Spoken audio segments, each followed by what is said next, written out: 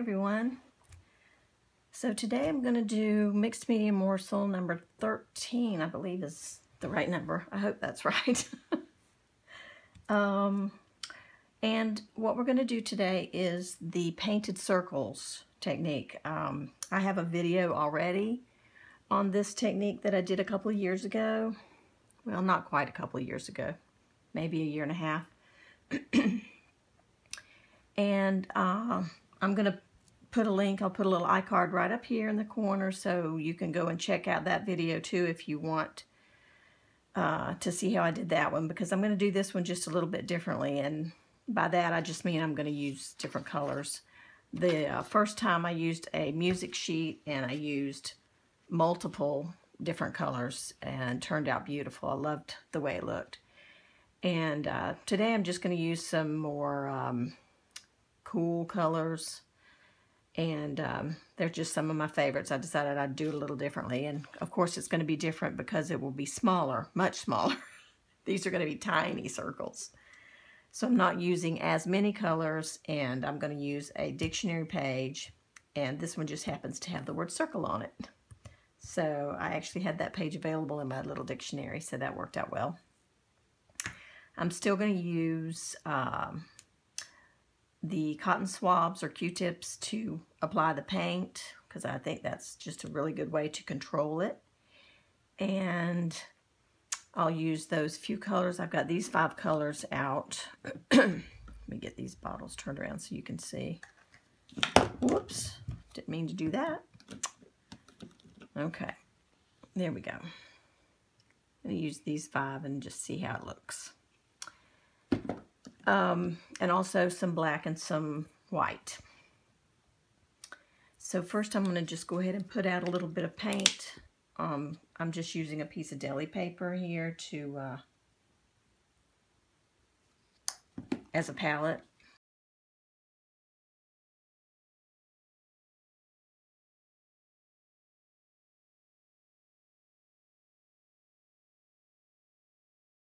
This is just a really simple process. You're just going to make a few circles, as many as you want. I'm going to be making a background for my little page in my Mixed Media Morsels book. And uh, so I'm going to just make small circles on the page and I'm going to use this page, I'm going to glue it to this one when I'm done. You can make a background if you want on your page on your page, whatever you're using. You can make a background and cut the circles out that you make and glue them on to your background. You can do whatever you'd like, but I'm just going to put paint them directly onto this page and then glue this page to this little one. All right, so I'm going to just start with this purple and you just um you just make a little you know you just making little circular marks just like that just little marks. And this is so easy, and I don't want anybody stressing out over this because this is one of the more simpler things we could e ever do because there's no, nothing really special, like as far as skill. you don't have to have any special skills to do this. You just do it. And it's just a lot of fun, and You can do it in any way that you want. You don't have to do it with the same colors I have. You don't have to do, you know, anything. There's nothing special in that way about it. so then you're just going to continue your little circular, circular marks.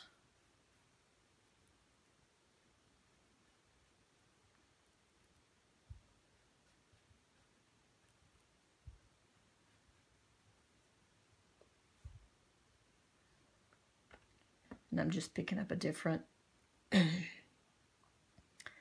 little Q-tip, a new one for each color, so we don't have any, you know, messes happening. I think I'm going to put a little green in the middle of some of these. This little bright green.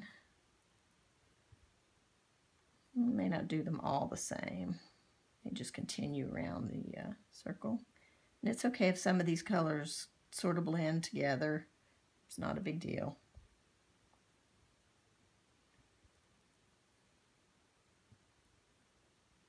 Okay.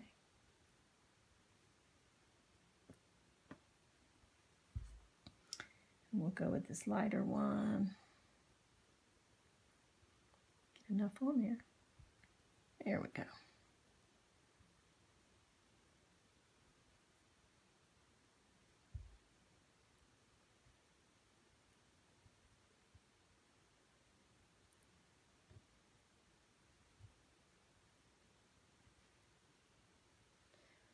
Okay, let's see now. Got, um, I've used all the colors. Oops, I put that, no, I have to use the green. There we go.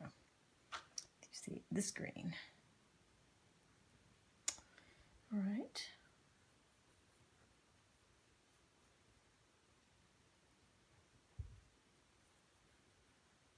This is just, you know, it's really kind of a messy little project, but it turns out to be so gorgeous and so much fun.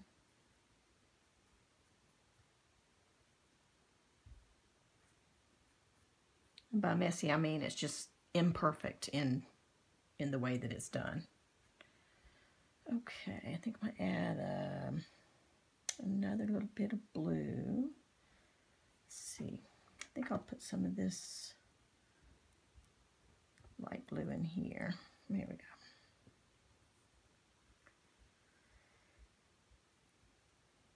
Just add a little bit more of this here and there. And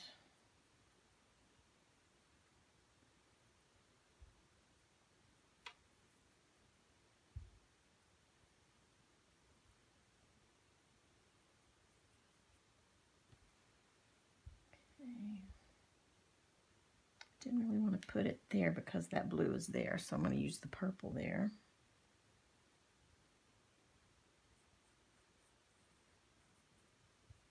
Okay.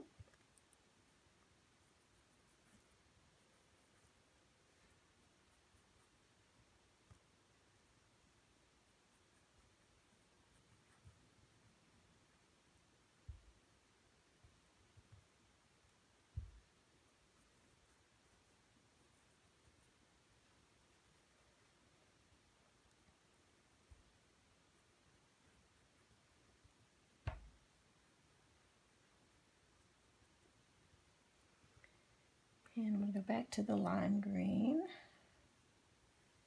And add a little tiny bit of that in here.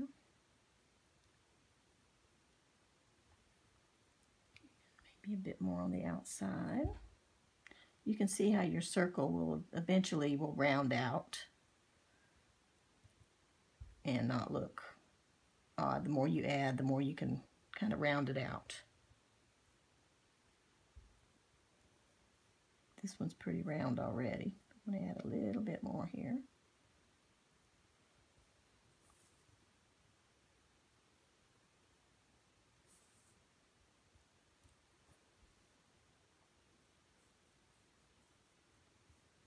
Okay.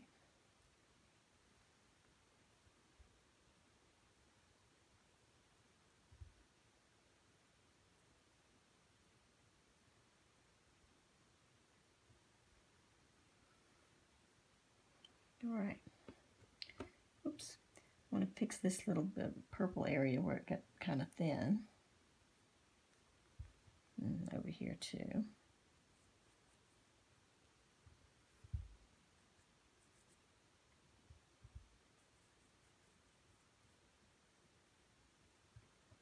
All right. Okay, so that's how those look so far. Okay, you can see that. Not perfect in any way, just mush together colors. okay, now I'm going to take a little bit of white. And I'm going to just touch up just a tiny bit to add some highlights.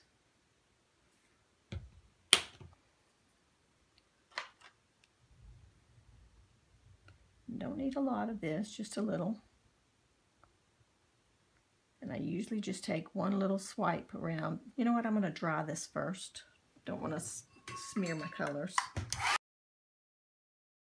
And you can see how this um, this looks a little dark right now, and this white will really, you know, pop it out and make it look brighter and more alive. So you're just going to take a little white and just make little marks like little, just a little curved mark like that. And do that to each one.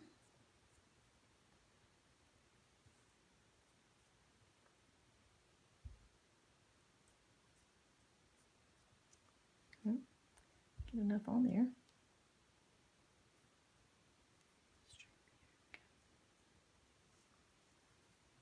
Okay.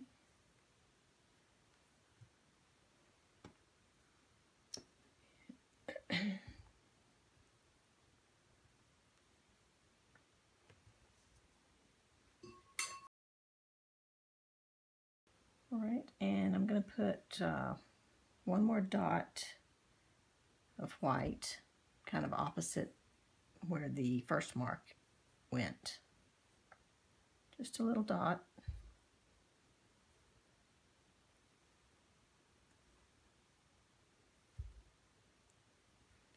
Okay.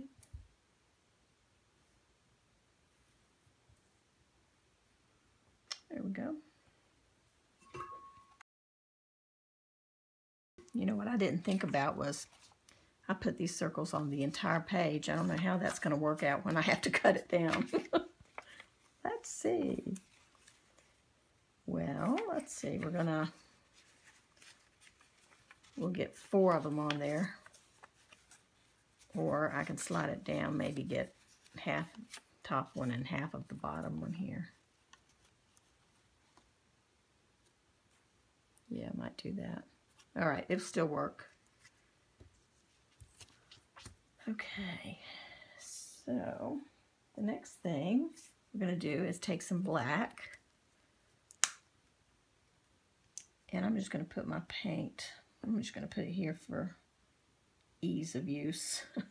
All right, now what you need to do next is find a circle, uh, something to make a circle mark with.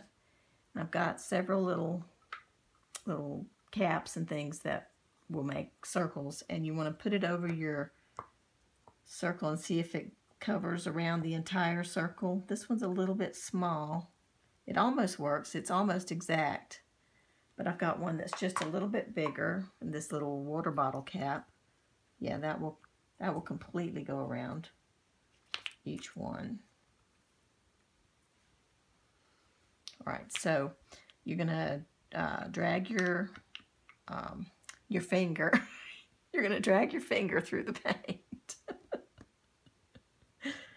Oh, that's great. Okay, you're going to drag your cap or whatever you're using to make a circle with uh, around in the paint until you get the entire surface of it, you know, painted. And then come to your circles and stamp the black around it, okay? And stamp. Stamp.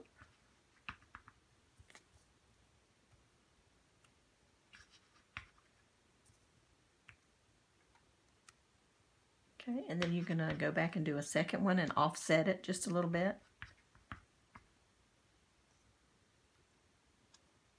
That. Doesn't that look cool?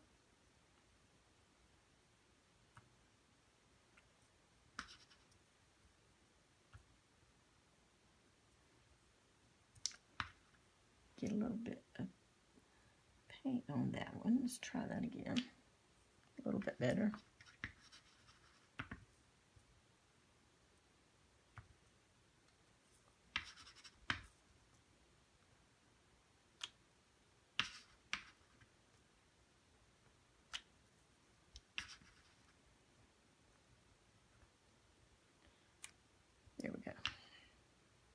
Okay.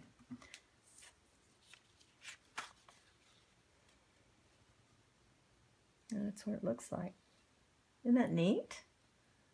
I just love this little technique. It's just so fun. And you can always do it and use different colors and it will look completely different from the last time you did it. And I just love that aspect of it. It's really, really cool.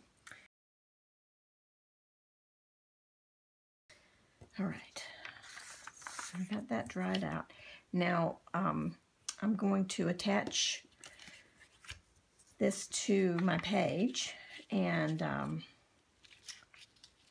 I'm going to do that off camera and I'll come right back as soon as that's done and we'll continue.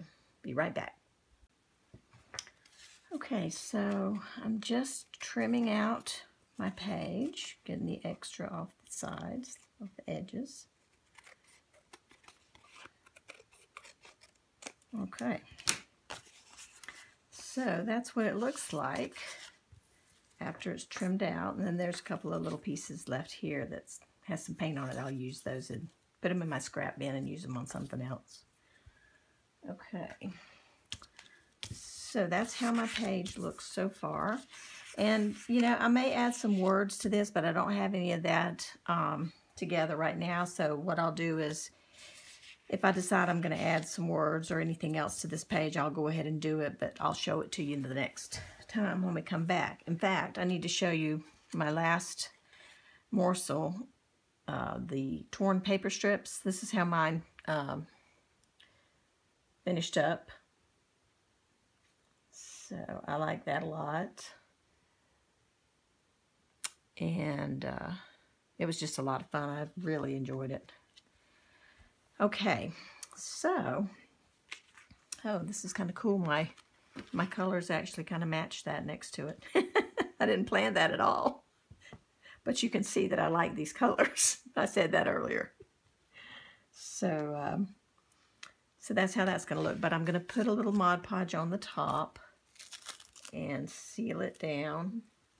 Now, the last time I made these, and if you watch my other video, you'll see that, I uh, splattered some some black splatters on on my page. Once I got to this stage, I went ahead and did some splatters, but I'm not going to do that this time uh, just because I want to, you know, have it a little bit different and I don't know exactly how I want to finish this page yet.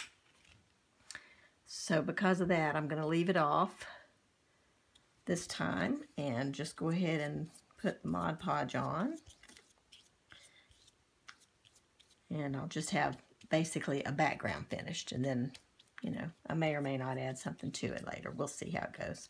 Sometimes I see something and go, oh, that would look great on that page, you know, and sometimes if I don't have a plan, I'd rather wait for one of those spontaneous moments when I see something and realize that would be perfect on a page, you know. So you don't have to ever start a an art journal page and finish it completely. You can always work on it a little and put it away and work on something else and come back to it later as you find things or as you purchase things that you want, you know, to go with it or to go on it. So,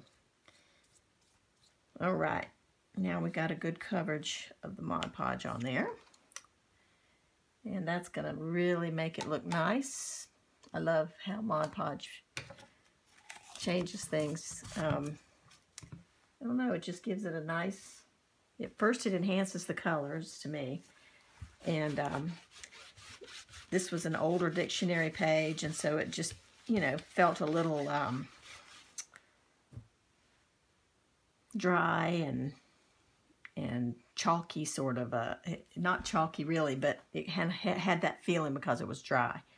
And so with this coat of the Mod Podge on there, it's going to really make it nice.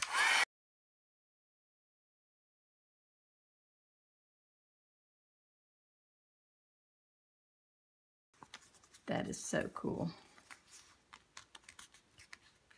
Yep, it looks great. Okay, so you can see how something that was really imperfectly done, you can see how messy these circles of paint are. But look how cool it looks in the finished piece, you know? It just looks really cool and artsy. And so that just shows you you don't have to feel any stress about having things perfect all the time and just be loose and free and fun with it. And you might surprise yourself at how cool, you know, it can turn out. Like these black circles, are they're not perfectly placed, you know. They're messy and they look great. So, so have fun and be loose and free with your art and see if it doesn't change your perspective just a little bit on uh, how things can look in the end. All right, guys. Well, that was fun, and I hope you enjoy making your painted circles. I'll be looking for your uh, posts in the Facebook group. Uh, any of you who don't know about it yet, there is a Facebook group called Mixed Media Morsels. And I do put the link to that group in the description of each one of these videos. So feel free to come over and uh, join with us there. If you're on Facebook, we'd love to have you. And we'll see you again on the next video, guys. Talk to you soon. Bye-bye.